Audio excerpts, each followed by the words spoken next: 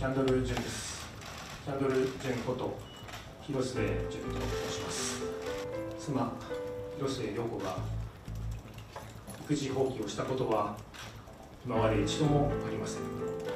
キャンドル・ジュン氏は18日に会見を開き妻である女優の広末涼子と人気レストランのシェフ鳥羽周作氏の不倫交際について謝罪し言及しました。以下。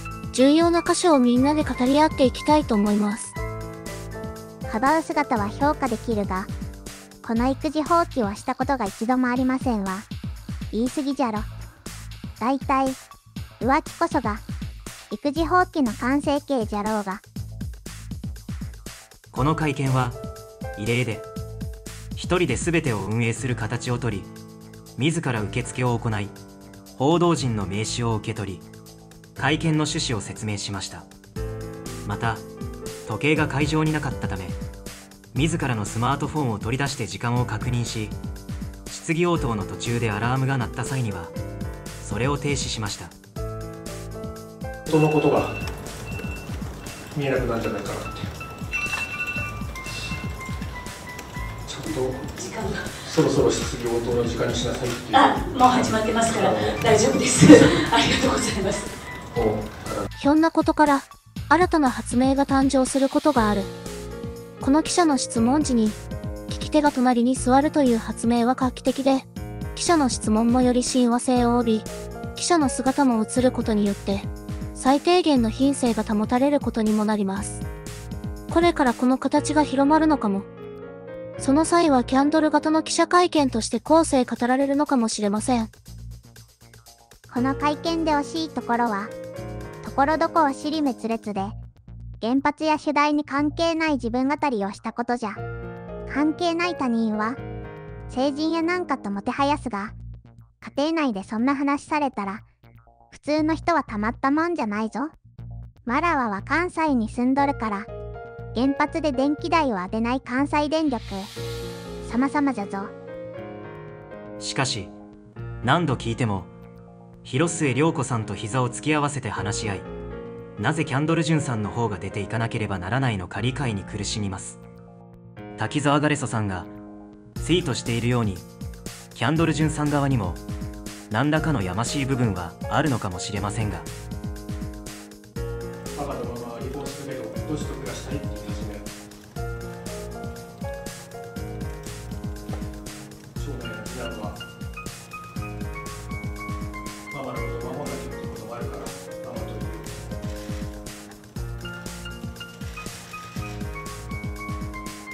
成功はただやってばかりでこの会見で一番大切なところです。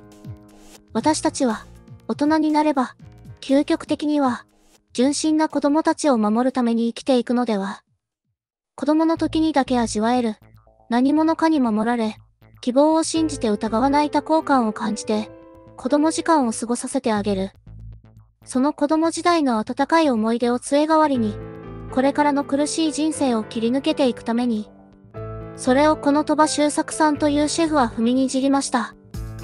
一番末の子を泣きじゃくらせて。それなのに、鳥羽周作さんだけ、逃げて隠れて、サンジャポにはテレビだからって謝罪文を送っている。彼の目線のおかしさが、ここに現れていると思います。このことだけは、絶対に許してはいけないと心に誓いました。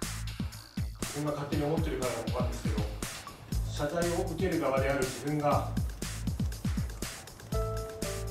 アポイントを取っていて13時にお店に行きますからって言ってるのに他の用事があるからまた後日って返事しますか？ちょっと今日は近くにいないです。すいません。改めて必ず謝罪に行きますんでとその時また返信がありました。じゃあ、もう今日何時でもいいですからって返事しました。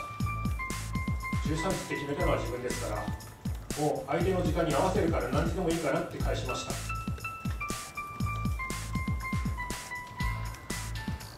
でも、後日必ず行きますからって。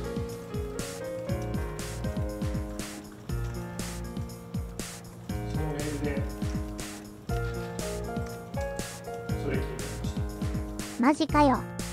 最低だな。鳥羽周作。他の用事があるって、今、これ以外の重要なことが、他の、どこにあるんだって言うんだ。この先、こんな人の料理なんかを、誰がこの後食べに来るんじゃろ。